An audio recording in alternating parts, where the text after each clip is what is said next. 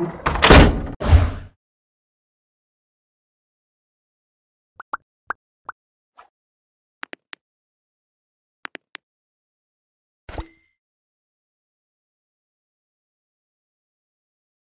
select your own subtitles, please follow the steps.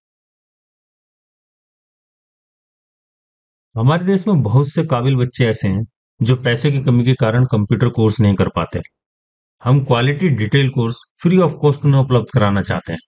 यदि आप हमारे वीडियो को पूरा देखते हैं लाइक करते हैं सब्सक्राइब करते हैं तो यूट्यूब के एल्गोरिदम इन वीडियो को उन तक पहुँचा देगी। आपका ये छोटा सा प्रयास बहुत से लोगों की ज़िंदगी बदल सकता है। ग्राफ में एक्स हॉरिजेंटल लाइन को वाई वर्टिकल लाइन को प्रेजेंट करता है और जेड को हम डेप्थ के लिए यूज़ करते हैं। जब हम थ्री डी इन्वायरमेंट में किसी ऑब्जेक्ट में मैपिंग की बात करते हैं तो वहाँ पर हम एक्स वाई जेड की जगह यूवीडब्ल्यू का प्रयोग करते हैं। यहाँ पर यू हॉरिजेंटल वी वर्टिकल और डब्ल्यू डेप्थ के लिए यूज़ होता है। ये सुनकर मन में सबसे पहले ये सवाल उठता है, जब थ्री डायमेंशन के लिए हम पहले से ही एक्स वाई जेड का यूज़ करते हैं तो मैपिंग के लिए यूवीडब्ल्यू की ज़रूरत क्यों पड़ी? देखिए, सबसे पहली बात तो हमें ये समझनी होगी कि X Y Z three D में पर्टिकुलर किसी एक पॉइंट की पोजिशन की परफेक्ट इन्फॉर्मेशन हमें देते हैं। लेकिन जब हम ऑब्जेक्ट पर टेक्सचर या मैपिंग की बात करते हैं तो हम उस ऑब्जेक्ट के पूरे सरफेस की बात करते हैं, ना कि उस टेक्सचर की इन्वायरमेंट में एक्यूरेट पोजिशन की। जब हम उस पूरे ऑब्जेक्ट को मूव करते हैं तो X Y Z position change हो जाती है और टेक्सचर भी उसी के साथ मूव करता है। ऑब्जेक्ट के ऊपर उसकी पोजीशन में कोई चेंज नहीं होता। इसके अलावा ऑब्जेक्ट की एक्स वाई जेड पोजीशन और मैपिंग के लिए एक ही नामों को यूज़ करेंगे तो बहुत कंफ्यूजन पैदा होने की संभावना रहती है। इसलिए दोनों के लिए अलग अलग शब्दों का यूज़ होता है। इस वीडियो में हम यूवीडब्ल्यू मैप के सबसे बेसिक और असेंशियल कॉन्सेप्ट को समझेंगे। ये बात तो आप जानते ही होंगे ऑब्जेक्ट के ऊपर टेक्सचर को रैप करने के लिए यूवीडब्ल्यू मैपिंग का प्रयोग किया जाता है। जैसा कि आप यहाँ पर विभिन्न प्रकार के प्रिमिटिव्स बने हुए देख पा रहे हैं, यहाँ पर सभी की ज्योमेट्री अलग है। ऑब्जेक्ट की ज्योमेट्री के हिसाब से यूवीडब्ल्यू मैपिंग में अलग अलग ऑप्शन दिए जाते हैं। किस प्रकार के शेप पर कौन सा ऑप्शन यूज़ करना चाहिए, उसके यूज़ करने का तरीका क्या है, आज इस वीडियो में हम इसी पर चर्चा करेंगे। किसी भी टेक्सचर को ऑब्जेक्ट पर अप्लाई करने से पहले उसे मटेरियल स्लॉट में इंपोर्ट करना पड़ता है। तो सबसे पहले हम यह सीखेंगे मटेरियल में टेक्सचर को इंपोर्ट कैसे किया जाता है। पहले मटेरियल एडिटर खोलिए। राइट क्लिक करके मटेरियल में जाइए, यहाँ से वीरे में जाइए और एक वीरे मटेरियल सिलेक्ट कर लीजिए। डिफ्यूज कलर के सामने जो बॉक्स है, इस पर क्लिक कीजिए। मटेरियल वेब ब्राउज़र की विंडो खुल जाएगी। मैप पर क्लिक करके इसे खोलिए, स्क्रॉल डाउन करके नीचे आइए। यहाँ पर आपको वीरे मिलेगा। इसमें सबसे पहला ऑप्शन वीरे बिट मैप का है। आप इस पर डबल क्लिक कीजिए। वीरे बिट मैप यहाँ पर आ जाएगा। आप यहाँ पर वीरे बिटमैप का मटेरियल में डिफ्यूज के साथ कनेक्शन भी देख पा रहे हैं। एक तो ये तरीका है। चलिए इसको डिलीट कर देते हैं।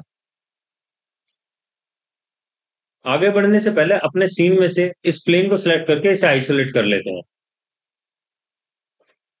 सीन को थोड़ा सा सेट कर लेते हैं। वापस मटेरियल स्लॉट में आते हैं। अब सेम टेक्सचर को दोबारा इंपोर्ट करेंगे। यहाँ खाली स्थान पर क्लिक कीजिए और मटेरियल की जगह सीधे मैप में जाइए। इसमें सबसे नीचे आपको वीरे मिलेगा। इसके ऊपर माउस लाइए, थोड़ा होल्ड करने पर एक और लिस्ट खुल जाएगी। इसमें सबसे ऊपर वीरे बिट मैप मिलेगा। आप इस पर क्लिक कर दीजिए। इसकी पोजीशन सेट कीजिए। अब इसका कनेक्शन मटेरियल में डिफ्यूज के साथ बना दीजिए। इस समय मटेरियल स्लॉट में मैप सेलेक्ट है और यहाँ पर मैप के पैरामीटर ऑन है। आगे बढ़ने से पहले मटेरियल डिस्प्ले को थोड़ा सा सेट कर लेते हैं। यदि यहाँ पर मटेरियल सेलेक्ट हो तो डिफ्यूज कलर के सामने बटन है। आप इस पर क्लिक कर दीजिए तो वीरे बिटमैप के पैरामीटर खुल जाएँगे। इस मटेरियल स्लॉट में टेक्सचर को इम्पोर्ट करने के लिए बिटमैप के सामने यहाँ पर जिसमें तीन डॉट बने, इस बटन को दबा दीजिए। तो टेक्सचर को इम्पोर्ट करने के लिए विंडो खुल जाएगी। जिस फोल्डर में आपने टेक्सचर को रखा है, वहाँ जाइए और उस टेक्सचर को सिलेक्ट करके इम्पोर्ट कर लीजिए। अब आप मटेरियल स्लॉट में उस टेक्सचर को देख पा रहे हैं। इस बात को सुनिश्चित कर लेंगे मटेरियल स्लॉट में मटेरियल सिलेक्ट होना चाहिए और व्यू पोर्ट में ऑब्जेक्ट जिस पर ये टेक्सचर अप्लाई करना है। ये असाइन मटेरियल तो सिलेक्शन का बटन है, आप इसे दबा दीजिए। अब मटेरियल स्लॉट को मिनिमाइज कर दीजिए। जैसे कि देख पा रहे हैं, ये इमेज थोड़ी सी साइड की तरफ़ स्ट्रेच है। ऐसा इसलिए होता है, जब किसी इमेज को ऑब्जेक्ट के ऊपर प्रोजेक्ट करते हैं तो वो ऑब्जेक्ट के साइज़ के हिसाब से उसका फिट हो जाती है। यहाँ पर इमेज का साइज़ अलग है और इस ऑब्जेक्ट प्लेन का साइज़ अलग है। इसलिए इमेज खिंची हुई नज़र आ रही है। इस इमेज को फोटोशॉप में खोलकर देखते हैं कि इस इमेज का डायरेक्शन क्या है। मैंने इस इमेज को पहले से फोटोशॉप में खोल रखा है। जैसे कि यहाँ पर पता चल रहा है, ये इमेज पोर्ट्रेट है, ना कि लैंडस्केप चलिए फोटोशॉप को मिनिमाइज कर देते हैं। इस इमेज को हमें इस डायरेक्शन में घुमाना पड़ेगा। मटेरियल स्लॉट को एक्टिव कीजिए। सिलेक्ट एरिया में वीरे बिटमैप को एक्टिव कीजिए। यहाँ पर साइड में उसके पैरामीटर खुल जाएँगे। स्क्रॉल करके नीचे आइए। यहाँ पर आपको कोऑर्डिनेट्स का ऑप्शन मिलेगा। इसमें ऑफसेट है टाइलिंग है मिरर है और एंगल दिया हुआ है। एंगल में यूबीडब्ल्यू का ऑप्शन है। ये बात हम पहले ही डिस्कस कर चुके हैं कि मैपिंग में एक्स वाई जेड के लिए हम यूवीडब्ल्यू का प्रयोग करते हैं। अब डब्ल्यू में 90 अमाउंट भर के इसे ओके कर दीजिए।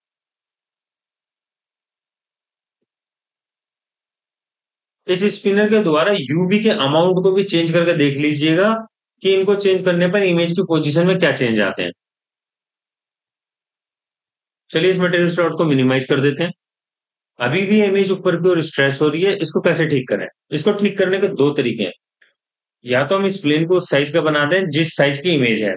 तो इस इमेज और प्लेन का साइज़ बराबर होने के कारण वो स्ट्रेच नहीं होगी। लेकिन थ्री डी इन्वायरमेंट में किसी भी ऑब्जेक्ट को हम छोटा बड़ा ऐसे ही नहीं कर सकते हैं। ऐसा करने पर व्यू में ऑब्जेक्ट प्रोपोर्शनली इनकरेक्ट हो जाएगा। तो इस कंडीशन में हम प्लेन के साइज़ के हिसाब से इस इमेज के कैनवस साइज़ को इंक्रीज करेंगे। अगर प्लेन सेलेक्ट नहीं हो तो उसे सिलेक्ट कर लीजिए और मॉडिफायर में आइए। नीचे पैरामीटर दिया हुआ है, यहाँ पे इसका साइज़ नोट कर लीजिए। अब एक बार फिर फोटोशॉप खोल लेते हैं। मैंने पहले से इस इमेज के कैनवस साइज़ को रिसाइज किया हुआ है। यहाँ पर ध्यान देने वाली बात यह है कि मैंने इमेज के साइज़ को नहीं बढ़ाया। नहीं तो इमेज यहाँ पे भी स्ट्रेच हो जाती। मैंने इस इमेज फ़ाइल के केवल कैनवस साइज़ को बढ़ाया। उसके लिए मैं इमेज में गया।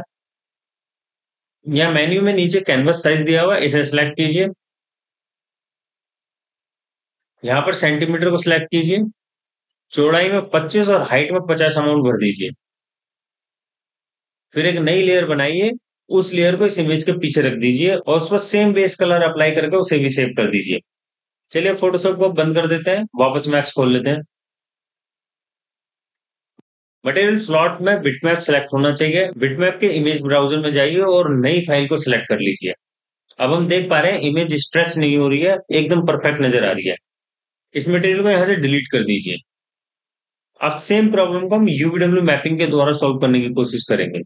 मैंने एक और प्लेन बनाया हुआ है, वो अभी हाइड है, उसे अनहाइड कर लेते हैं।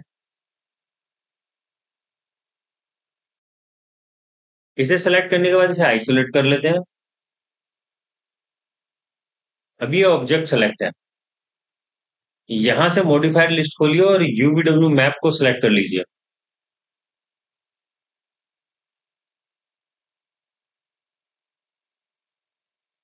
यूबीडब्ल्यू मैप मॉडिफायर इस ऑब्जेक्ट को अप्लाई कर दिया है। अब टेक्सचर को रोटेट करने के लिए इसको स्केल करने के लिए, इसकी पोजीशन को चेंज करने के लिए, हमें मटेरियल के टेक्सचर के पैरामीटर में जाने की ज़रूरत नहीं है।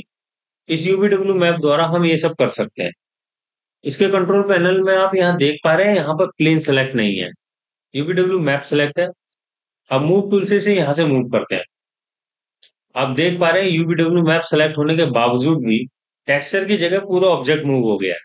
यदि हमें ऑब्जेक्ट नहीं, केवल टेक्सचर को मैनिपुलेट करना है तो यूवीडब्ल्यू मैप के सामने जो एरो है, आप इस पर क्लिक कीजिए। यूवीडब्ल्यू मैप का गिज्मो आपके सामने आ जाएगा। अब आप गिज्मो को एक्टिव कीजिए, अब टेक्सचर को मूव कीजिए। अब केवल टेक्सचर ही मूव हो रहा है। एफ़ थ्री बटन दबाकर बाय फ्रेम मोड में आ जाओ। ये जो येलो कलर का रेक्टेंगल नज़र आ रहा है ना, यही गिज्मो है। वापस एफ़ थ्री बटन दबाकर शेड मोड में आ जाइए। यूवीडब्ल्यू में आपका गिज्मो सेलेक्ट होना चाहिए। आप इसे मूव के अलावा रोटेट और स्केल भी कर सकते हैं। कंट्रोल जेड दबाकर पुरानी पोजीशन में आइए। चलिए अब इस टेक्सचर को बिना मटेरियल के पैरामीटर में आए यूबीडब्ल्यू मैप के द्वारा इस टेक्सचर को इस पर फिट करने की कोशिश करते हैं। कंट्रोल पैनल में यूबीडब्ल्यू मैप सेलेक्ट होना चाहिए। फिर ये देखना है कि हमारा ऑब्जेक्ट किस टाइप का है। जैसे कि हम जानते हैं कि हमारा ऑब्जेक्ट एक प्लेन टाइप का है। तो यहाँ मैपिंग में भी प्लेनर को सिलेक्ट होना चाहिए। इसके बाद रोटेट टूल पर राइट क्लिक करके ट्रांसफॉर्म टाइप इन विंडो खोल लीजिए। ये जेड एक्सिस है, इसे रोटेट करना है। आप जेड एक्सिस पर यहाँ पर माइनस नाइनटी अमाउंट भर दीजिए। अभी मैं इसे कैंसिल कर देता हूँ। रोटेट टूल सेलेक्ट होना चाहिए। एंगल स्नैप टूल भी ऑन होना चाहिए। और रोटेट टूल द्वारा से 90 डिग्री पे घुमा दीजिए।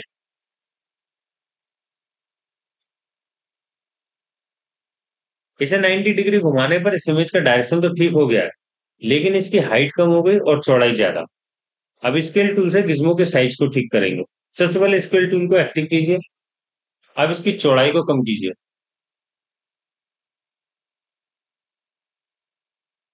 हमने अंदाजे से इसकी चौड़ाई को कम किया है। अब ये इसके लगभग बराबर आ गया है। परंतु ये इमेज एग्जैक्ट उस साइज़ की नहीं है, जिस साइज़ का ये प्लेन है। अब इसे अंडू कर दीजिए। ऊपर यहाँ पर परसेंट स्नैप टॉगल है, इसे एक्टिव कर लीजिए। अब दोबारा इसकी चौड़ाई कम कीजिए।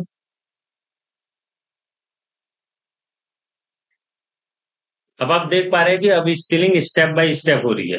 अब गिज्मो के किनारे और प्लेन के किनारे आपस में एग्जैक्ट मिल गए ऐसा कैसे संभव हो पाया? इसके पीछे दो कारण है। सबसे पहला कारण ये कि इस प्लेन की जो डायमेंशन है वो 25 और 50 वो रैंडम नंबर नहीं है। वो एकदम मैथमेटिकली कैलकुलेटिव नंबर है। इन्हें आप एक से पाँच से दस से आसानी से डिवाइड कर सकते हैं। इसलिए जब हमने percent snap toggle tool use किया तो दोनों का साइज़ मैच हो गया। दूसरा कारण है, पहले परसेंट स्नैप टॉगल पर राइट क्लिक कीजिए। परसेंट के सामने यहाँ पे दस अमाउंट सेट कर रखा है। यहाँ पर दस का मतलब है दस सेंटीमीटर यानी जब हम इसे स्केल कर रहे थे तो ये हर बार दस सेंटीमीटर पर स्नैप हो रहा था। आप इस परसेंट के अमाउंट को अपनी ज़रूरत के हिसाब से चेंज कर सकते हैं। तो इस एग्ज़ाम्पल से हमने ये सीखा कि थ्री मॉडल की ज्योमेट्री हमें मैथमेटिकली कैलकुलेटिव रखनी चाहिए। काम करते समय उसके डिवीज़न में या कैलकुलेशन में आसानी होती है। इससे हमारा three D environment proportionally correct होता है रियल लगता है। और हमारे काम में परफेक्शन भी आती है। अब हम स्केल टूल से इसकी हाइट को भी सेट कर लेते हैं। अब ये टेक्सचर इस प्लेन पर लगभग फिट हो गया है। देखिए, जब बात टेक्सचर की स्केलिंग की होती है तो मैं आपको स्केल टूल से उसे यूज़ करने की एडवाइस नहीं दूँगा, क्योंकि ये प्रोफेशनल तरीका नहीं है। अभी हमने स्केल टूल द्वारा गिज्मो का साइज़ चेंज कर दिया है, परंतु कंट्रोल पैनल में यहाँ पर अभी भी गिज्मो की लेंथ 25 और 50 दिखा रहा है। चलिए अंडू करके पुरानी पोजीशन में आ जाते हैं।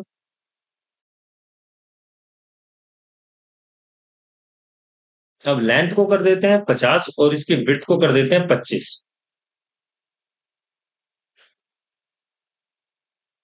अब इसमें प्रॉब्लम है, ये इमेज ऊपर की ओर खिंची हुई नज़र आ रही है। इसका कारण ये है कि ओरिजिनल इमेज की हाइट 50 नहीं है 35 सेंटीमीटर है। तो यहाँ पर इस गिज्मो की हाइट कर देते हैं 35 सेंटीमीटर अब ये इमेज इस प्लेन पर अपने ओरिजिनल शेप में है। लेकिन यहाँ पर एक इश्यू है, क्योंकि इस इमेज और यूबीडब्ल्यू मैप के गिज्मो की हाइट 35 है और प्लेन की हाइट 50 सेंटीमीटर इसलिए हमें ऊपर और नीचे की ओर इस इमेज की टाइल नज़र आ रही है। इसका कोई इलाज नहीं है। इसे आपको फोटोशॉप में जाकर ही ठीक करना होगा। हमने इस इमेज को जो रिसाइज किया था, उसे इस इमेज की जगह रिप्लेस कर देते हैं। मटेरियल एडिटर में जाइए। टेक्स्ट से वीरे मिड पैप को सिलेक्ट कीजिए। यहाँ से करेक्ट इमेज को सिलेक्ट कीजिए और ओके का बटन दबा दीजिए।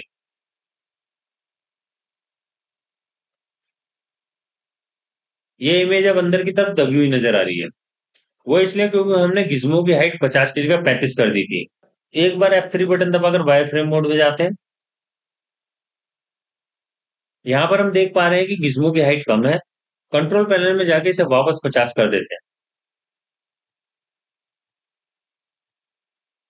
फिर F3 बटन दबाकर शेड मोड में वापस आ जाइए। अब टेक्सचर इस प्लेन पर एकदम फिट नज़र आ रहा है। अब सभी ऑब्जेक्ट को अनहाइट कर देते हैं। अगले चैप्टर में हम यूपीडब्ल्यू मैप के अन्य ऑप्शन को विस्तार से देखेंगे।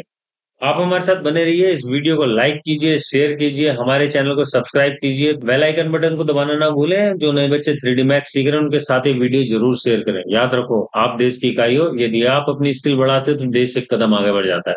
जय हिंद, वंदे मातरम, भारत माता की जय।